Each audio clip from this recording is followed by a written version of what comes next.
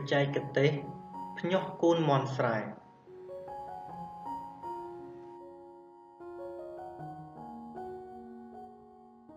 បច្ចុប្បន្ននេះអត្រាកំណើនប្រជាជនមានការកើនឡើងជារៀងរាល់ថ្ងៃបណ្ដាលឲ្យតម្រូវការម្ហូបអាហារមានការកើនឡើងជាបន្តបន្ទាប់សាច់មាន់ជ្រូកត្រូវបានប្រជាជននិយមចូលចិត្តបរិភោគជាអាហារ ទោះបីជាវាមានតម្លៃលើសមាន់នាំចូលក៏ដោយផលិតកម្មពូជមាន់ស្រុកតាមបែបធម្មជាតិមិនអាចផ្គត់ផ្គង់តម្រូវការទីផ្សារបានឡើយដើម្បីផ្គត់ផ្គង់តាមតម្រូវការទីផ្សារឲ្យបានគ្រប់គ្រាន់នោះការចិញ្ចឹមមាន់ត្រូវបញ្ចូលនូវបច្ចេកទេសបន្ថែមលើផលិតកម្មការភ្ញាស់កូនមាន់ ដោយតាមរយៈទូភ្ញាស់មិនទាន់ត្រូវបានគេប្រើប្រាស់ទូលំទូលាយនៅឡើយទេ តាមរយៈទូភ្ញាស់និងបច្ចេកទេសថែទាំសំដៅបង្កើនផលិតភាពកូនមាន់មានគុណភាព និងអាចផ្គត់ផ្គង់កូនមាន់ស្រុកមានគុណភាព និងចាក់វ៉ាក់សាំងបង្ការជំងឺកូនមាន់រួចដល់កសិករឬអ្នកចង់ចិញ្ចឹមបំពាន់មាន់សាច់នៅតាមតំបន់នានា រួមទាំងតំបន់ដាច់ស្រយាលផងដែរអ្នកចិញ្ចឹមបំពន់គ្រាន់តែធ្វើរបងពត់ជាទីធ្លាត្រង់និងឲ្យចំណីជាការស្រេចដោយអនុវត្តតាមបច្ចេកទេសចិញ្ចឹមណែនាំក្នុងសៀវភៅនេះកសិករអាចចិញ្ចឹមមាន់ទទួលបានផលល្អអត្រារស់ខ្ពស់ធំធាត់លឿនប្រើរយៈពេលតែ100ថ្ងៃ ទទួលបានមាន់ទម្ងន់ជាមធ្យម1.2គីឡូក្រាមក្នុងមួយក្បាលឥឡូវនេះគឺយើងត្រូវស្វែងយល់អំពីទូភ្ញាស់ជាមុនសិន ថាតើទូភ្ញាស់សុទ្ធមាន់ជាអ្វី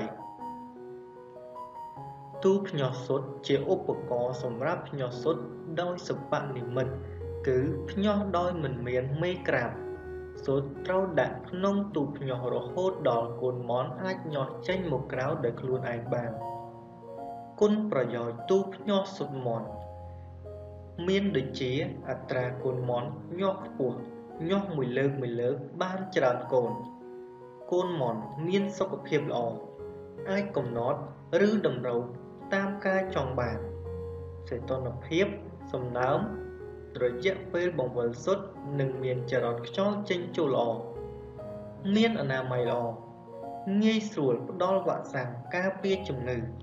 ចំណេញពេលវេលាថែទាំកូនមាន់កត្តាសំខាន់ចាំបាច់ត្រូវអនុវត្តពេលភ្ញាស់សុទ្ធមាន់គឺយើងត្រូវគ្របសុទ្ធបាក់សីពេលភ្ញាស់ត្រូវការលក្ខខណ្ឌបរិស្ថានសំខាន់សំខាន់5យ៉ាងដើម្បីឲ្យអំប្រយងសុទ្ធក្នុងកូនក្នុងសុទ្ធលូតលាស់បានត្រឹមត្រូវនិងញាស់បានល្អ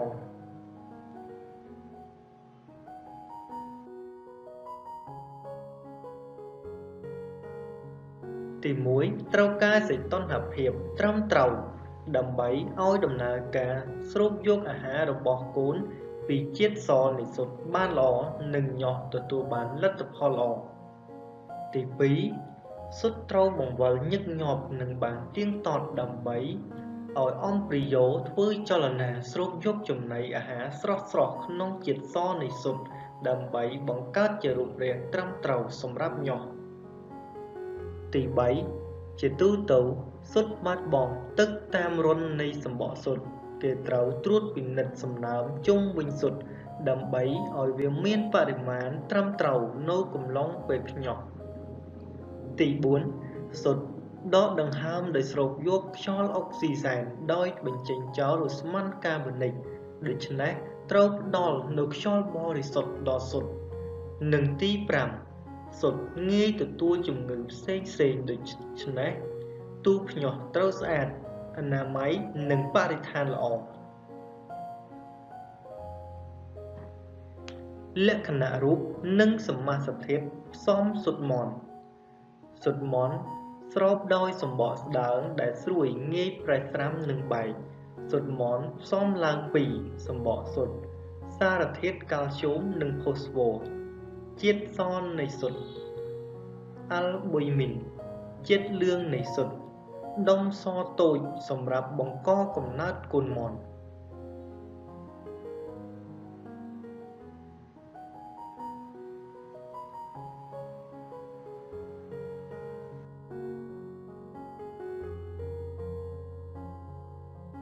វដ្តជីវិតមន់ ជាទូទៅមេមន់អាចផ្ដល់សុទ្ធបាននៅពេលមានអាយុចាប់ពី5ទៅ6ខែសុទ្ធមន់អាចបង្កកំណើតបានលុះត្រាតែមេវាបានបង្កាត់ជាមួយបាមុនពេលពងកូនមន់ចាប់ផ្ដើមបង្កកំណើតនិងបន្តការលូតលាស់ក្នុងសុទ្ធរហូតដល់ពេលញាស់មានរយៈពេលជាមធ្យម21ថ្ងៃដែលឆ្លងកាត់ដំណាក់កាលជាច្រើន ក្នុងកំឡុងពេលកូនមន់លូតលាស់ក្នុងសុទ្ធយើងត្រូវថែទាំនិងរៀបចំតម្រូវតាមលក្ខខណ្ឌលូតលាស់សមស្របរបស់វា ដើម្បីឲ្យការភ្ញាស់កូនមន់ទទួលបានជោគជ័យអ្នកចិញ្ចឹមគួរយល់ដឹងបន្ថែមពីដំណើរវដ្តជីវិត និងការលូតលាស់របស់កូនមន់ពីដំណាក់កាលមួយទៅដំណាក់ កាលមួយទៀតដែលមាន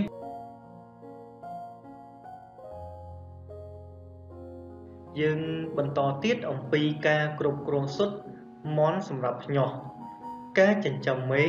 និងបាមន់សម្រាប់យកសុទ្ធភ្ញាស់ដំបូងគឺយើងត្រូវធ្វើការជ្រើសរើសពូជមន់ពូជមន់មានសារៈសំខាន់ណាស់សម្រាប់ដំណើរការផលិតកម្មសុទ្ធយើងត្រូវជ្រើសរើសពូជមន់ទៅតាមតម្រូវ ការផលិតកម្មចង់បានដូចជាពូជសាច់សុទ្ធនិងពូជមន់ខ្មៅជាដើម ចំពោះផលិតកម្មកូនមន់ពូជក្នុងស្រុក សម្រាប់លក់ឲ្យទៅចិញ្ចឹមបំពន់យកសាច់អ្នកផលិតកូនមន់ត្រូវជ្រើសរើសមេបាមន់ដែលមានមាឌធំធំពងច្រើននិងលូតលាស់លឿនកន្លែងភ្ញាស់ស្ទុតអាចសម្រាំងកូនមន់ល្អល្អសម្រាប់ទុកធ្វើពូជបន្តបាន តែមិនត្រូវយកវាទៅបង្កាត់ជាមួយមន់ជាប់បងប្អូនឬមេបាវាទេ គេអាចជ្រើសរើសបាឬមេពីតំបន់ផ្សេងមកបង្កាត់ពូជបន្តបានមេនិងបាមន់មិនត្រូវទុកឲ្យអាយុលើសពី3ឆ្នាំព្រោះវាអាចថយចុះផលិតកម្មពងទ្រង់ចិញ្ចឹមមេបាមន់ ទ្រង់មានប្រយោជន៍សម្រាប់ការពារមន់ពីការយាយីបំផ្លាញពីកត្តាចង្រៃនានាដូច្នេះយើងត្រូវសាងសង់វាឲ្យបានត្រឹមត្រូវតាមបច្ចេកទេសនិង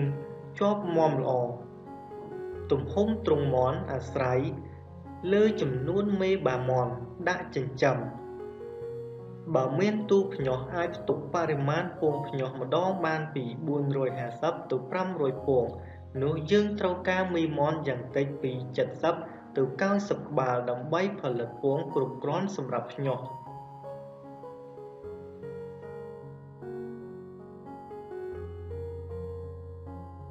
តើត្រូវសាងសង់ទ្រុងចិញ្ចឹមមេបាមន់យ៉ាងដូចម្ដេចទ្រុងមន់ត្រូវសាងសង់លើដីទួលមិនលិចទឹកឬមិនមានទឹកឬទឹកភ្លៀងហូរកាត់ទ្រុង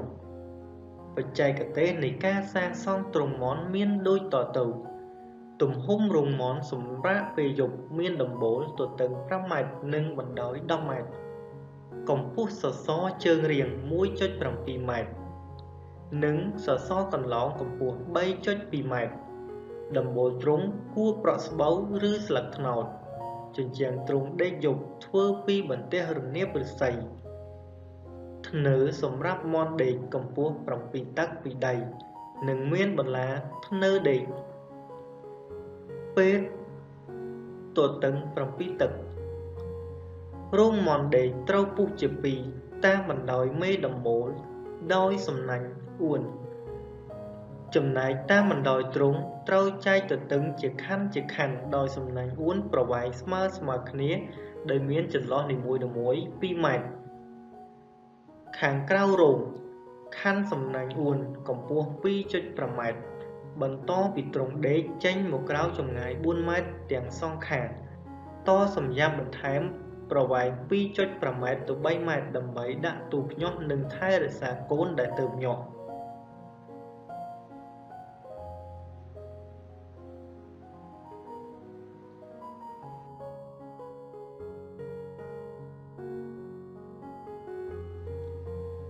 មាមាត្រចំនួនមេនិងបាដាក់ក្នុងទ្រុង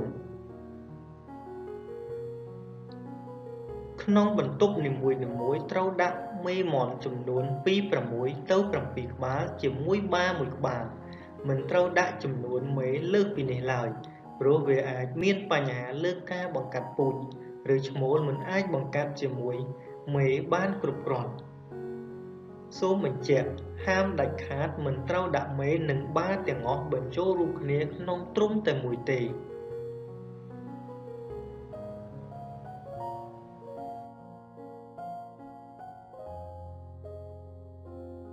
ការផ្ដល់ចំណីមេបាចំណីអាហារមានសារៈសំខាន់ណាស់សម្រាប់ការលូតលាស់និងផលិតកម្មស៊ុតរបស់មាន់ការចិញ្ចឹមរបៀបនេះ មាន់ពឹងផ្អែកទាំងស្រុងលើការផ្ដល់ចំណីដូចនេះត្រូវផ្ដល់ចំណីឲ្យមាន់បានត្រឹមត្រូវតាមបច្ចេកទេសទាំងបរិមាណនិងគុណភាពត្រូវកំណត់បរិមាណសមាសធាតុផ្សំឬលាយចំណីឲ្យបានទៀងទាត់សុទ្ធមាន់ផ្សំឡើងពីសារធាតុជាច្រើនបានមកពីមេនិងបាដូច្នេះដើម្បីធានាឲ្យកូនមាន់ញាស់ចេញមកមានសុខភាពល្អនិងលូតលាស់ល្អមេបា ត្រូវការបំពន់ចំណីអាហារសម្បូរបែបមុនពេលចាប់ផ្ដើមដល់ពងយ៉ាងហោចណាស់មុនពីអាទិត្យតើចំណីអាហារប្រភេទណាដែលល្អសម្រាប់មេបាមាន់មន់ត្រូវផ្ដល់ចំណីមានគុណភាព និងបរិមាណគ្រប់គ្រាន់ដូចជាជាតិសាច់ធម្មពលវីតាមីននិងសារធាតុរ៉ែក្រៅពីចំណីត្រូវផ្ដល់ទឹកដល់មាន់ឲ្យបានគ្រប់គ្រាន់ជាប្រចាំផងដែរ ចំពោះចំណីសម្បូរជាតិសាច់ប្រូតេអ៊ីនប្រូតេអ៊ីនជួយការលូតលាស់របស់រាងកាយសាច់ស្បែកសម្រាប់ផលិតពងប្រូតេអ៊ីនមាននៅក្នុងកន្ទក់ចុងអង្ករត្រីម្សៅត្រី ត្រីក្រៀមកង្កែបជន្លែនសត្វល្អិតពពួកសណ្ដែកសាច់ដូងស្ងួតស្លឹកកន្ធុំថេតស្លឹកដំឡូងមីឈើស្ងួត និងចក បាយទាជាដើមចំពោះចំណីសម្បូរធម៌ពលវិញវាមាននៅក្នុងពោតចុងអង្ករកន្ទក់កាក់ដូងស្ងួតដើមរុក្ខជាតិកាក់សំណល់បន្លែដំឡូងជ្វាកាកសំណល់ផ្លែឈើពពុះស្ករត្នោតកាកសំណល់ប្រេងឆាខ្លាញ់ជាដើម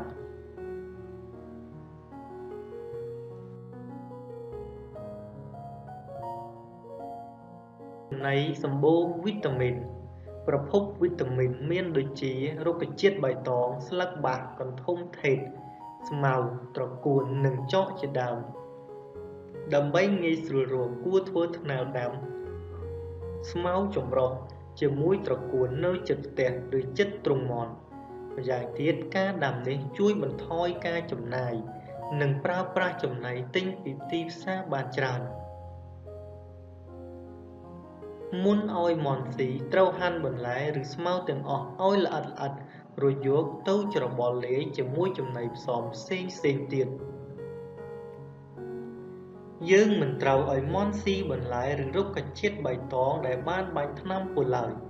ព្រោះអាចបណ្ដាលឲ្យមន់មានសុខភាពមិនល្អនិងងាប់ជាពិសេសកូនមន់ទើបញាស់ចំណីសម្បូរសារធាតុរ៉ែ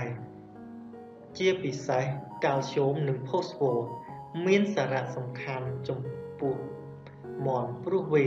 ជួយឲ្យឆ្អឹងលូតលាស់និងបង្កើតសម្បកស៊ុតកង្វះកាល់ស្យូមនិងផូស្វ័របណ្ដាលឲ្យមាន់លូតលាស់យឺត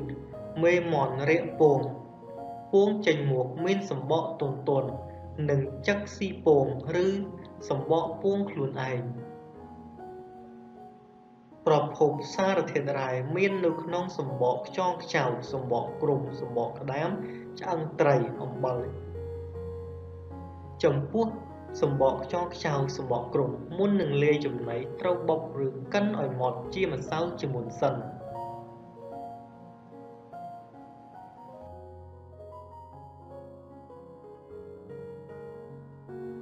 តើផ្សំចំណីមេបាម៉ន់យ៉ាងដូចម្ដេច មានកត្តាជាច្រើនដែលមានឥទ្ធិពលលើផលិតកម្មពងរបស់មាន់ដូច្នេះអ្នកចិញ្ចឹមត្រូវផ្ដល់ចំណីក្នុងបរិមាណលាយទៀងទាត់បើបរិមាណសមាសធាតុផ្សំចំណីប្រែប្រួលខ្លាំងលើកលែងតែបន្លែនិងស្មៅគឺអាចបណ្ដាលឲ្យមេមន់មិនផ្ដល់ពងមួយរយៈសូមប្រុងប្រយ័ត្នមិនត្រូវផ្ដល់ចំណីឲ្យមេនិងបាមន់ថត់ពេកទេ ព្រោះអាចបណ្ដាលឲ្យមេផលិតពងបានតិចនិងបាខ្ជិលមិនចង់ចន់មេខាងក្រោមនេះជាបទពិសោធន៍របស់កសិករក្នុងការលាយចំណីសម្រាប់មេបាមន់យកពងឲ្យស៊ីមួយលើកចំនួន105ក្បាលសមាសធាតុផ្សំដែលយើងប្រើមានដូចជា ចំណីបាវ1.5គីឡូក្រាម យើងត្រូវប្រើ18.75%ចំណីសម្រាប់មេក្នុងទ្រុងកន្ទួត2.5គីឡូក្រាម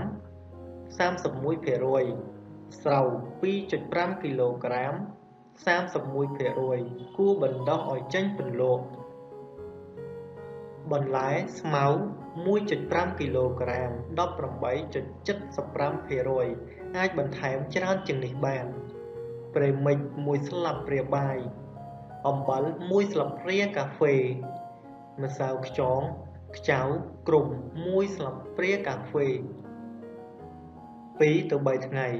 ដាក់មួយដង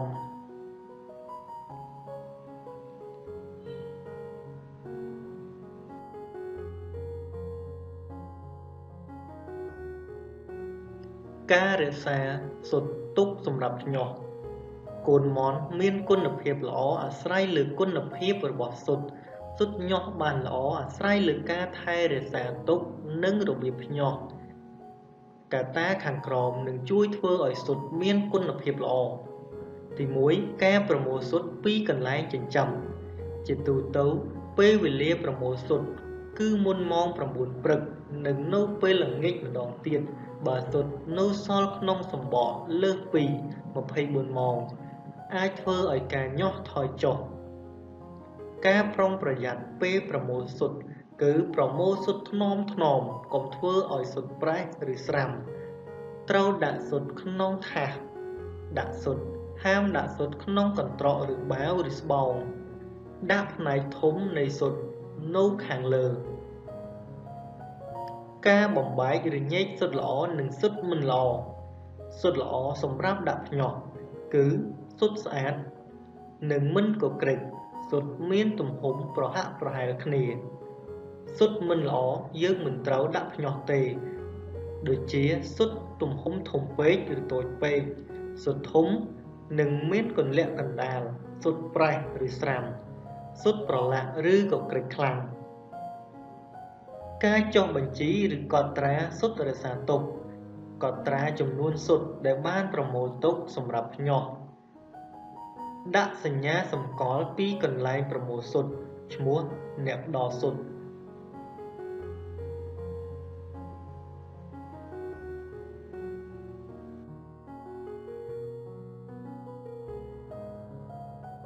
បច្ចេកទេសដឹកជញ្ជូនស៊ុតកុំដាក់ឲ្យត្រូវចំពន្លឺថ្ងៃ ប្រើប្រាស់មធ្យោបាយដឹកជញ្ជូនដែលសម្អាតស្អាត ឬមានអនាម័យល្អ ជៀសវាងការរក្សាទុកស៊ុតនៅក្នុងរោងចិញ្ចឹមមួយពូជកូនបង្កកំណើតក្នុងស៊ុតងាប់លឿនជាងធម្មតា ជាកន្លែងសម្បូរដោយមេរោគដែលអាចឆ្លងមកស៊ុតការរក្សាស៊ុតទុកសម្រាប់ភ្ញាស់កន្លែងភ្ញាស់ស៊ុតគឺយើងត្រូវកត់ត្រាឬចុះបញ្ជីស៊ុតដូចជាចំនួនស៊ុតដែលទទួលបានមួយលើកមួយលើកសរសេរ ផ្លាកសម្គាល់ថ្ងៃខែឆ្នាំដែលទទួលបានស៊ុតសរសេរស្លាកសម្គាល់កន្លែងឬត្រង់ដែលផ្ដល់ស៊ុតនិងការប៉ាន់ស្មានពីចំនួនដែលត្រូវដាក់ក្នុងទូភ្ញាស់របៀបរក្សាទុកស៊ុតគឺយើងត្រូវកាន់ស៊ុតដោយប្រុងប្រយ័ត្នរយៈពេលរក្សាទុកស៊ុតមិនត្រូវរក្សាទុកយូរជាង7ថ្ងៃបន្ទាប់ពីមេបានពងនោះទេ បើទុកលើសពីនេះលទ្ធភាពញាស់នឹងថយចុះបន្តិចម្ដងបន្តិចម្ដង ហើយកូនបង្កកំណើតអាចងាប់លឿនសម្អាតឲ្យស្អាតសុទ្ធប្រេះបាត់បង់ទ្រង់ទ្រាយនិងប្រឡាក់ដីខ្លាំងត្រូវយកចេញសុទ្ធប្រឡាក់ដីតិចតួចអាចសម្អាតដោយប្រើក្រណាត់ស្អាតជូតថ្នមថ្នមសីតុណ្ហភាព ស៊ុតសុទ្ធភ្ញាស់ត្រូវការកន្លែងមានសីតុណ្ហភាពចន្លោះពី12អង្សាទៅ19អង្សាអំប្រយោមិនលូតលាស់ប្រុងប្រយ័ត្នបើកន្លែងរក្សាសុទ្ធមានសីតុណ្ហភាពខ្ពស់ជាង19អង្សាសេនោះកូននៅក្នុងសុទ្ធលូតលាស់មិនធម្មតានិងមានសភាពខ្សោយបើកន្លែងរក្សាសុទ្ធមានសីតុណ្ហភាពទាប វានឹងធ្វើឲ្យកូនក្នុងសុទ្ធងាប់ដូច្នេះស្ថិតក្នុងករណីទាំងពីរនេះធ្វើឲ្យលទ្ធភាពការញាស់ថយចុះសំណើមកម្រិតសំណើមល្អបំផុតសម្រាប់រក្សាសុទ្ធគឺចន្លោះពី55%ទៅ65%សូមប្រយ័ត្នថាបើដាក់សុទ្ធនៅកន្លែងមានសំណើមខ្ពស់វានឹងមានដំណក់ទឹកនៅលើសំបកសុទ្ធដំណក់ទឹកនេះជាឧបសគ្គរារាំង ស្ទះរន្ធលើសំបកសុទ្ធឬចម្លងរោគដល់កូន តែបើសំណើមទាបពេកវាអាចធ្វើឲ្យភ្នាសសំបកសុទ្ធឡើងស្ងួតដែលបណ្ដាលឲ្យកូនងាប់ការបង្វិលក្នុងកំឡុងពេលរក្សាទុកសុទ្ធគួរបង្វិលមួយមួយដងក្នុងមួយថ្ងៃ ក្នុងកម្រិតដំបូង45ដឺក្រេហើយបង្វិលត្រឡប់មុខម្ខាងទៀតនៅមុំ90ដឺក្រេសូមប្រុងប្រយ័ត្ន ចំពោះការបង្វិលសុទ្ធមិនបានត្រឹមត្រូវអាចបណ្ដាលឲ្យផ្នែកលឿងនៃសុទ្ធអណ្ដែតនិងប៉ះភ្នាសនៅចិត្តសម្បកប្រសិនបើអំព្រិយោប៉ះភ្នាសសម្បកសុទ្ធនោះវានឹងអាចជាប់ភ្នាសសម្បកសុទ្ធដែលធ្វើឲ្យវាលូតលាស់តែផ្នែកម្ខាងក្នុងទូភ្ញាស់ទម្រង់នៃសម្បកនិងគុណភាពសុទ្ធពេលខ្លះសុទ្ធបាត់បង់ទម្រង់ដែលធ្វើឲ្យកម្រិតញាស់ទាប សុទ្ធមានទំហំធំពេលខ្លះមានលឿងសុទ្ធពីរដែលមិនអាចញាស់បានការគ្រប់គ្រងការភ្ញាស់សុទ្ធនិងការថែរក្សាកូនមន់បន្ទាប់ពីភ្ញាស់រួចការរៀបចំទូភ្ញាស់មុនដាក់សុទ្ធភ្ញាស់ទូភ្ញាស់សុទ្ធត្រូវដាក់កន្លែងមានខ្យល់បក់ចេញចូលល្អហើយមិនត្រូវដាក់ទូភ្ញាស់ក្រោមពន្លឺថ្ងៃឡើយ ដាក់ទឹកបំពេញក្នុងថាសទឹកនៅបាតទូភ្ញាស់ឲ្យបានគ្រប់គ្រាន់មុនបញ្ចូលស៊ុតក្នុងទូភ្ញាស់ត្រូវអនុវត្តដូចខាងក្រោមទី1ទូភ្ញាស់មិនស្វ័យប្រវត្តិត្រូវបើកឲ្យដំណើរការសាកល្បងពី2ទៅ3ថ្ងៃ មុនពេលបញ្ចូលស៊ុតភ្ញាស់ក្នុងកំឡុងពេលនេះ យើងអាចកែតម្រូវសីតុណ្ហភាពនិងសំណើមបានល្អមិនធ្វើឲ្យប៉ះពាល់ដល់ស៊ុត ការកែតម្រូវក្នុងពេលដាក់ពុម្ពញាស់អាចធ្វើឲ្យការញាស់ពន្យាពេលយូរឬខ្លីពេកឬសម្រាប់កូនបង្កកំណើតទី2ចំពោះទូភ្ញាស់ស្វ័យប្រវត្តិវិញទូភ្ញាស់បញ្ជាដោយស្វ័យប្រវត្តិត្រូវពិនិត្យឲ្យបានត្រឹមត្រូវដូចជាកំណត់បញ្ជាឲ្យបានច្បាស់លាស់ពីសីតុណ្ហភាពសំណើមក្នុងទូនិងចន្លោះរយៈពេលបង្វិលសុទ្ធមួយលើកមួយលើកនិង ធ្វើការសាកល្បងបង្វិលសុទ្ធការរៀបចំសុទ្ធសម្រាប់ភ្ញាស់យើងត្រូវទី1ពិនិត្យមើលសុទ្ធម្ដងមួយម្ដងមួយកុំឲ្យមានប្រេះឬស្រាំបើមានប្រេះឬស្រាំត្រូវដកចេញទី2ដាក់សុទ្ធក្នុងកេះឬឡាំងដើម្បីឲ្យមានកម្ដៅអ៊ុនអ៊ុនឬដាក់អំពូលភ្លើងកម្ដៅពី10ទៅ15នាទីមុនដាក់ចូលទូភ្ញាស់ និងទី3តម្រៀបសុទ្ធដាក់ក្នុងថាសភ្ញាស់ត្រូវរៀបដាក់សុទ្ធនៅផ្នែកធំនៅខាងលើចូលសម្កល់ចងចាំថាតាមលក្ខណៈធម្មជាតិសុទ្ធកម្ដៅបន្តិចម្ដងបន្តិចម្ដងយឺតយឺតបើដាក់សុទ្ធក្នុងទូភ្ញាស់កំពុងមានកម្ដៅបណ្ដាលឲ្យសុទ្ធគាំងមិនលូតលាស់ បើអាចគួរតែចាប់ផ្ដើមផ្ដល់កម្ដៅឲ្យសុទ្ធបន្តិចម្ដងបន្តិចម្ដងយឺតយឺត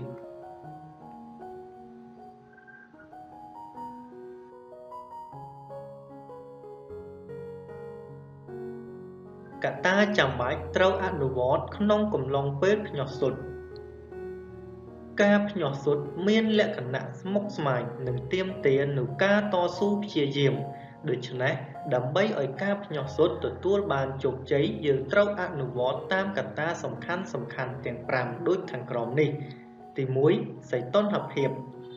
សីតុណ្ហភាពមានសារៈសំខាន់សម្រាប់កូនក្នុងសុទ្ធលូតលាស់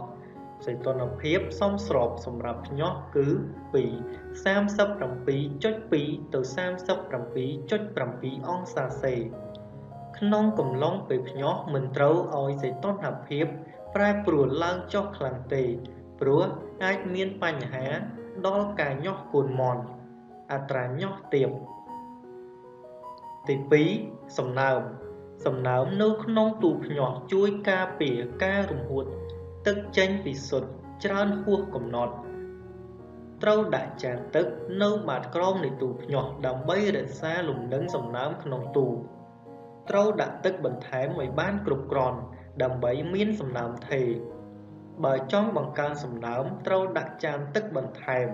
ហើយបើចង់បន្ថយសំណើមវិញត្រូវដាក់ចានទឹកតូចជាងមុនអាយុសុទ្ធពី1ទៅ18ថ្ងៃត្រូវការសំណើមពី50ទៅ55%ហើយបើសុទ្ធអាយុពី19ទៅ21ថ្ងៃ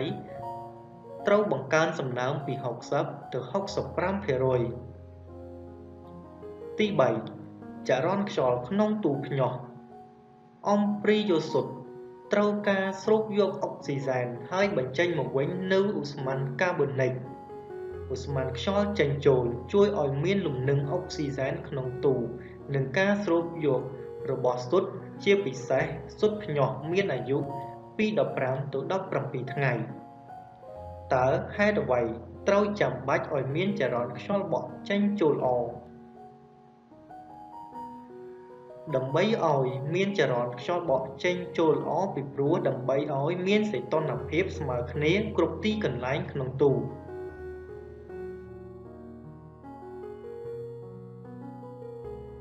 មានស្ថិរភាពអុកស៊ីសែននិងឧស្ម័នកាបូនិកសុទ្ធអាចស្រូបយកអុកស៊ីសែនបានគ្រប់គ្រាន់ការមិនមានចរន្តខ្យល់បានគ្រប់គ្រាន់បណ្ដាលឲ្យអត្រាកូនមន់ងាប់ខ្ពស់ ទី4ការបង្វិលសុទ្ធតាមធម្មតាកូនបង្កកំណើតលូតលាស់នៅក្នុងជាតិលឿងនៃសុទ្ធកាលណាសុទ្ធបង្វិលបានត្រឹមត្រូវ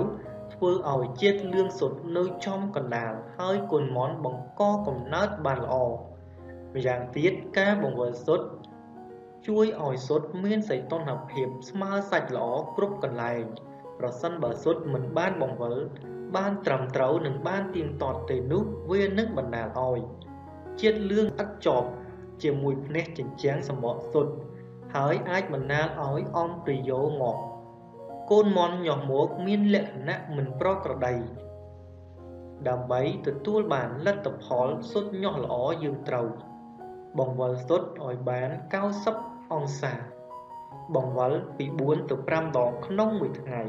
ធ្វើដោយដៃបង្វិលរៀងរាល់1ម៉ោងកន្លះម្ដងដោយម៉ាស៊ីនស្វ័យប្រវត្តិ បង្វិលសុទ្ធចាប់ពីអាយុ1ថ្ងៃដល់18ថ្ងៃ ហាមដាច់ខាតការបង្វិលសុទ្ធនៅ3ថ្ងៃចុងក្រោយ គឺពីថ្ងៃទី19ទៅថ្ងៃទី21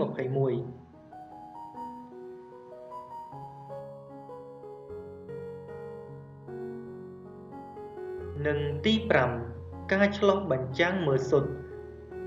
ជាទូទៅយើងត្រូវឆ្លោះពិនិត្យសុទ្ធនៅពេលដាក់ចូលទូភ្ញាស់ បានរយៈពេលពី8ទៅ10ថ្ងៃ យើងចាំបាច់ត្រូវពិនិត្យមើលសុទ្ធក្នុងកំឡុងពេលភ្ញាក់ដើម្បីតាមដានពីដំណើរការលូតលាស់របស់កូនក្នុងសុទ្ធនិងកែសម្រួលទូភ្ញាក់ឲ្យបានត្រឹមត្រូវតើហេតុអ្វីយើងត្រូវត្រួតពិនិត្យខាងក្នុងសុទ្ធយើងត្រូវត្រួតពិនិត្យខាងក្នុងសុទ្ធពីព្រោះដើម្បីរោគសុទ្ធមិនបង្កកំណើតឬខូចសុទ្ធមិនបង្កកំណើតនិងខូច អាចយកទៅប្រើប្រាស់ជាម្ហូបអាហារឬលក់បានយើងឆ្លោះមើលសុទ្ធដោយបញ្ចាំងពន្លឺភ្លើងឆ្លងកាត់សម្បកពងមាន់ដើម្បីមើលសភាពខាងក្នុងយើងត្រូវឆ្លោះពិនិត្យសុទ្ធមាន់នៅកន្លែងមិនសូវមានពន្លឺឬងងឹតដើម្បីងាយស្រួលមើលស្ថានសារធាតុនៅខាងក្នុងសុទ្ធជារួមរយៈពេលពិនិត្យសុទ្ធមិនត្រូវឲ្យលើសពី10នាទី និងកម្ដៅអំពូលឆ្លុះមិនត្រូវឲ្យលើសពី39អង្សាសេឡើយពីព្រោះបើលើសនេះអាចសម្លាប់អំព្រិយោយើងអាចបង្កើតឧបករណ៍ឆ្លុះបញ្ចាំងមើលសុទ្ធតាមរបៀបសាមញ្ញយើងអាចដាក់អំពូលភ្លើងចូលទៅក្នុងឡាំងឬកេះរួចចោះរន្ធនៅខាងលើសម្រាប់ដាក់ស៊ុតប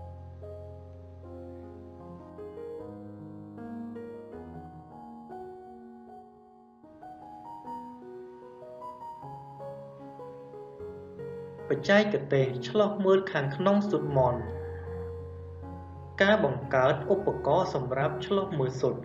យើងអាចជ្រើសរើសសម្ភារៈដែលងាយងាយមកកែច្នៃដូចជាសំបកកេះស្រាបៀរកំប៉ុងឬកេះទឹកក្រូចកំប៉ុងឬសំបកដបស្រាជ្រុំសម្ភារៈសម្រាប់ធ្វើឧបករណ៍ឆ្លោះមួយសុទ្ធរួមមានសំបកកេះទឹកក្រូចឬសំបកដបស្រា សម្ភារៈតអំពូលភ្លើងរបៀបធ្វើតាមលំដាប់ដូចតទៅទី1ចំពោះកេះក្រដាសត្រូវកាត់កេះមួយផ្នែករាង4ជ្រុងដោយទុកគម្របទី2ចោះរន្ធចំកណ្ដាលពីលើប្រអប់រន្ធនេះមានទំហំតូចជាងស៊ុតមាន់បន្តិច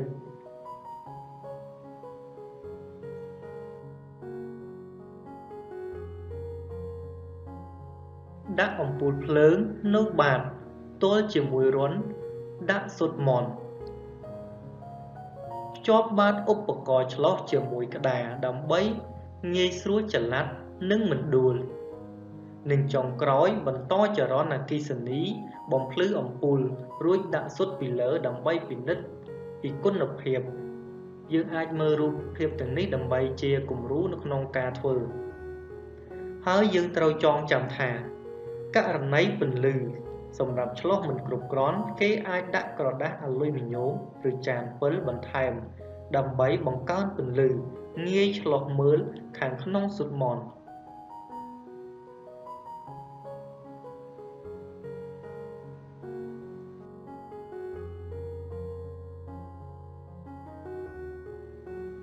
លទ្ធផលសំខាន់សំខាន់នៃការឆ្លោះមើលស៊ុត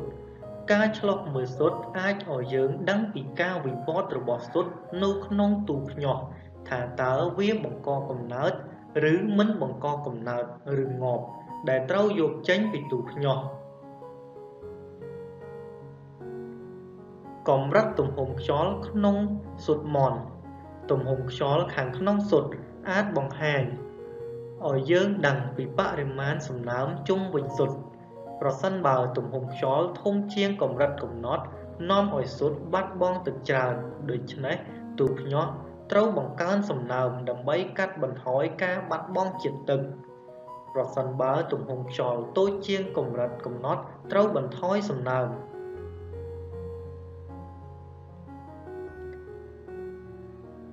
ស៊ុតមានគុណភាពល្អ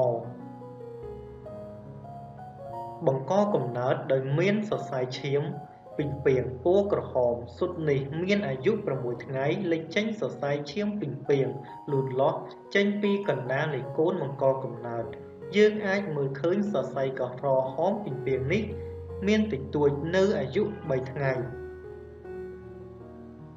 សុទ្ធនេះមានអាយុ14ថ្ងៃដែលអាចមើលឃើញចំណុចលេចឡើងយ៉ាងច្បាស់ជាមួយជាតិលឿងសុទ្ធអណ្ដែតផុសឡើងនៅខាងលើ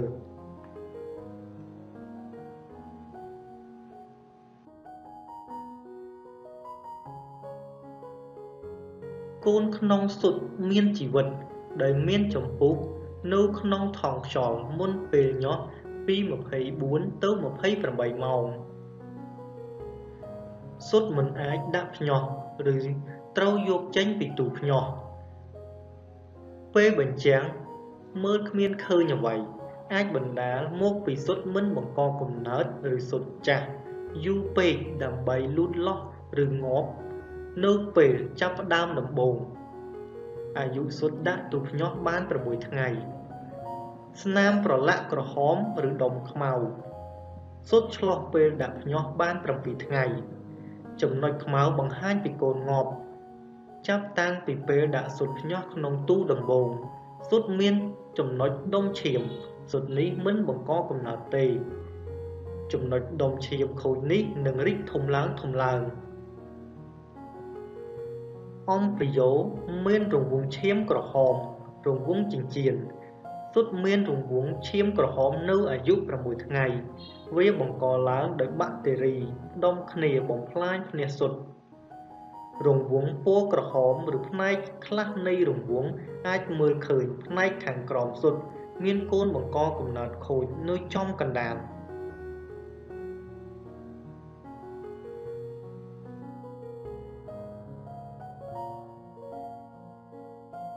សុទ្ធមានចំណុចឈាមខ្មៅនិងមានទម្រង់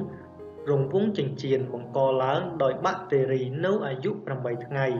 បើមិនបានយកចេញពីទូភ្ញាស់វានឹងស្អុយខូចសុទ្ធបង្ហាញពីរន្ធញើសយ៉ាងច្បាស់សុទ្ធនេះមើលឃើញដូច្នេះភាច្រើនមិនញាស់ទេទម្រង់ងងឹតមានលក្ខណៈមិនច្បាស់លាស់សុទ្ធលក្ខណៈបែបនេះបានងាប់រយៈពេលចុងក្រោយនៃការដាក់សុទ្ធ ក្នុងទូភ្ញាស់បានពី10ទៅ15ថ្ងៃ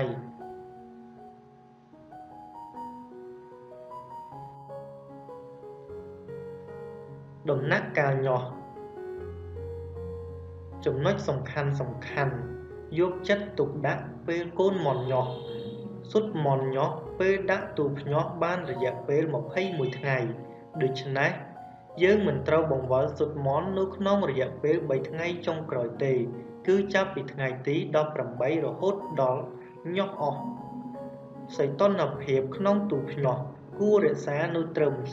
37.5អង្សាសេសំណើមអាចបង្កើនបានដោយបន្ថែមអេប៉ុងសើមឬកន្សែងក្រដាសសើម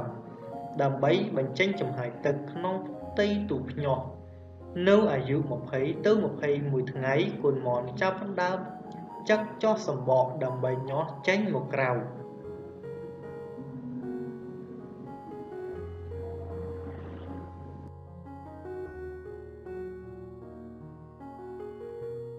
ពេលកូនមន់ញាស់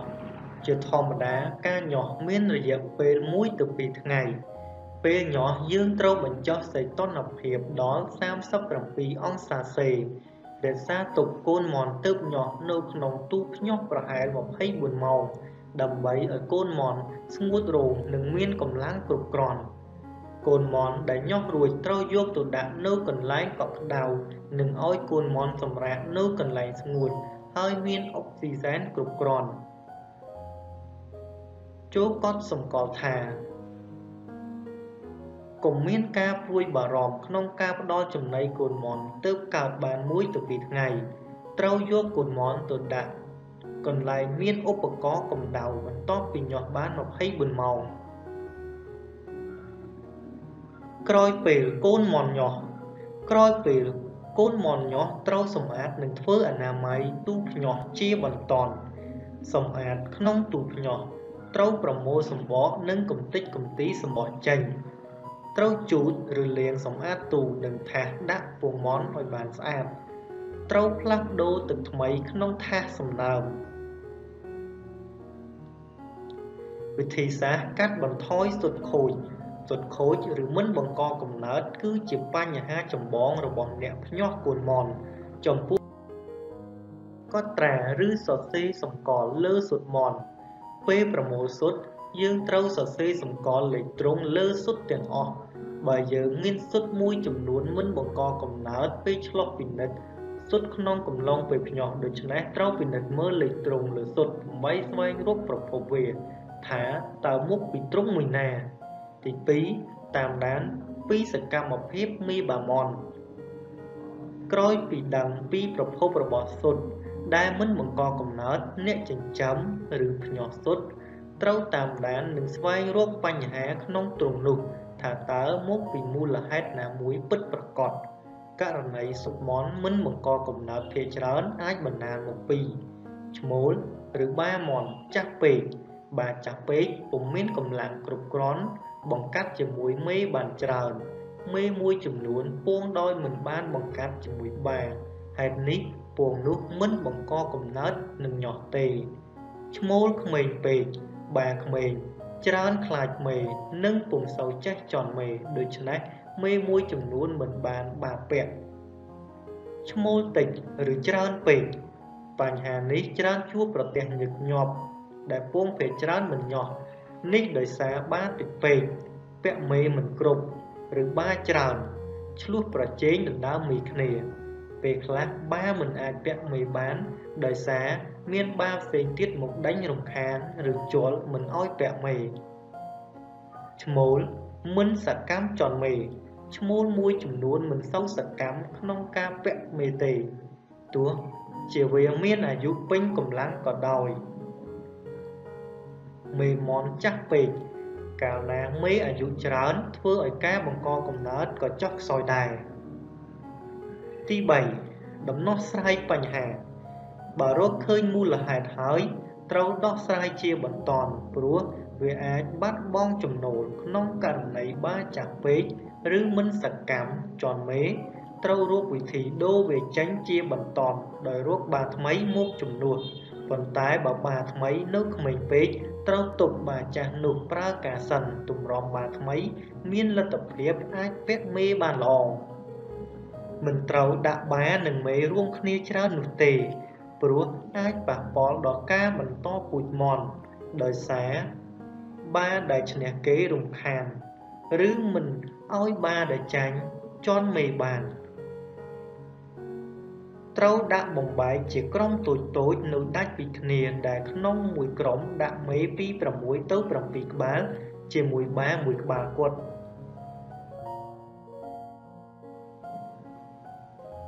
ការថែរក្សាកូនមន់ទើបញាស់ដើម្បីថែរក្សាកូនមន់ទើបញាស់ដែលមានអាយុក្រោម21ថ្ងៃយើងត្រូវរៀបចំទ្រុងថែរក្សាកូនមន់ដោយ បាទទ្រុងត្រូវដាក់ក្តារបន្ទះក្រាល និងជញ្ជាំងជុំវិញ គេអាចដាក់សំណាញ់ជាជញ្ជាំងបានតែត្រូវដាក់ក្រណាត់បាំងជុំវិញនៅពេលអាកាសធាតុក្តៅត្រជាក់ បាទទ្រុងត្រូវក្រាលអង្កាមដើម្បីរក្សាកម្ដៅបានល្អដាក់អំពូលមូលឬក្អមមានធ្យូងសម្រាប់ផ្ដល់កម្ដៅកូនមន់ជញ្ជាំងទ្រុងមិនត្រូវឲ្យមានរន្ធប្រហោងខ្យល់ចេញចូលឡើយទ្រុងដាក់កូនមន់ទើបញាស់អាចមានពីររបៀបទី1ជីរៀងជាទូចតកោនកែងនិងរង្វង់មូលបើសិនកូនមន់មានចំនួនច្រើនយើងត្រូវ ដាក់ថែរក្សាវាក្នុងទ្រុងលាតតែបើកូនមន់មានចំនួនតិចយើងអាចបំបែកឬដាក់វាក្នុងទូកំណៅតូចតូចការផ្ដល់កំណៅកូនមន់ទើបញាស់កូនមន់ដែលទើបញាស់ត្រូវរក្សានៅកន្លែងកក់ក្ដៅនិងផ្ដល់ចំណីទឹកឲ្យបានគ្រប់គ្រាន់ហើយការពារពីការបំផ្លាញពីសត្វចង្រៃនានា កម្ដៅសម្រាប់កូនមន់នៅអាទិត្យទី1ស្ថិតក្នុងកម្រិតវ័យ32.3អង្សាសេទៅ35អង្សាសេហើយបន្ថយកម្ដៅបន្តិចម្ដងបន្តិចម្ដងរៀងរាល់អាទិត្យរហូតដល់ស្មើនឹងកម្ដៅបរិយាកាសខាងក្រៅ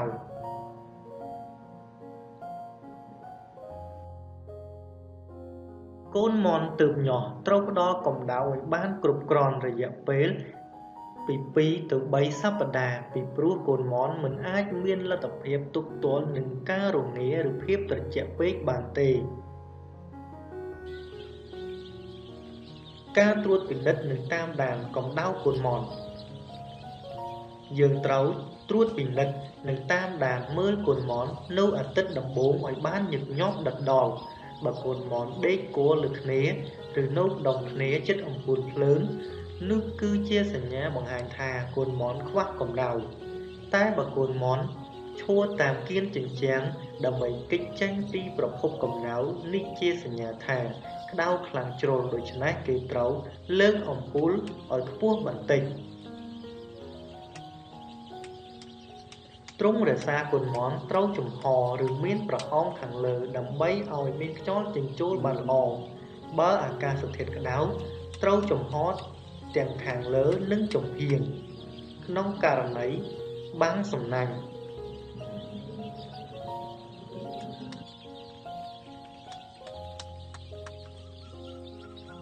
ការផ្ដល់ចំណីនិងទឹកដល់កូនមន់អាយុក្រ21ថ្ងៃចំពោះកូនមន់អាយុក្រ21ថ្ងៃត្រូវផ្ដល់ចំណីបាវសម្រាប់កូនមន់ឲ្យបានច្រើនដងក្នុងមួយថ្ងៃ ទឹកមានសារៈសំខាន់ណាស់ចំពោះកូនមន់ដូច្នេះយើងត្រូវផ្ដល់ទឹកស្អាតឲ្យវា បានគ្រប់គ្រាន់និងផ្លាស់ប្ដូរទឹកពីរដងក្នុងមួយថ្ងៃ គឺនៅពេលព្រឹកនិងពេលល្ងាចដើម្បីឲ្យកូនមន់សមនឹងជាមួយចំណីគួរលាយចុងអង្ករពោតដែលមានក្របល្អិតល្អិតក្នុងចំណីពេលវាមានអាយុចូលអាទិត្យទី3 ជាងនេះទៅទៀតយើងអាចលាយបន្តិចម្ដងបន្តិចម្ដងនៅបន្លែបៃតងស្ងួតនិងបានកិនឲ្យម៉ត់គួរចងចាំថាផ្ដល់ចំណីនឹងទឹកឲ្យបានគ្រប់គ្រាន់បើចំណីក្របធំត្រូវកិនឬបុកឲ្យល្អិតៗស្នូកចំណីត្រូវមានម៉ត់ទៀបដើម្បីឲ្យកូនមន់ងាយស្រួលចូលចាក់ចំណីស៊ី ដាក់សំណាញ់ដៃក្នុងស្នូកកុំឲ្យកូនមន់កាយចំណីចេញក្រៅមិនត្រូវផ្ដល់កន្ទុកដែលមានលាយអង្កាមឲ្យកូនមន់ស៊ីទេពីព្រោះវាបណ្ដាលឲ្យកូនមន់មានបញ្ហាប្រព័ន្ធរំលាយអាហារនិងងាប់ការថែរក្សាសុខភាពកូនមន់ទី1ការព្យាបាលនិងបំពន់កូនមន់ក្រោយញាស់ភ្លាម កូនមន់ទើបញាស់ងាយទទួលរងនៅបញ្ហាផ្សេងផ្សេងដែលធ្វើឲ្យកូនមន់ចុះខ្សោយនិងងាប់ដូច្នេះយើងត្រូវពេលញាស់បានពី1ទៅ2ថ្ងៃត្រូវផ្ដល់ថ្នាំសះដាក់ក្នុងទឹកផឹករយៈពេល1ថ្ងៃគត់ដាក់ថ្នាំវីតាមីនចម្រុះ Multivitamin លាយទឹកឲ្យកូនមន់ផឹករៀងរាល់ពី2ទៅ3ថ្ងៃម្ដង ចំពោះកម្រិតប្រើថ្នាំសះអំពីស៊ីលីនឬអាម៉ុកកូលី និងវីតាមីនត្រូវសួរអ្នកលក់តល